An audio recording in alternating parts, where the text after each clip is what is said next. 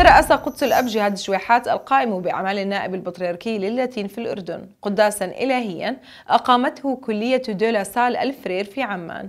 لراحة نفس الأخ رفائيل جونزاليس المدير السابق لمدارس الفرير في فلسطين والأردن.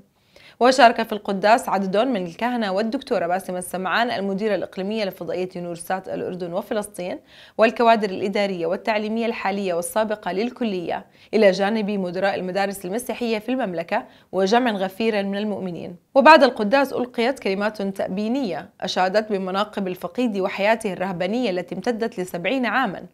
كرس خلالها الأخ رفائيل جهوده في خدمة المدارس والكنيسة والمجتمع.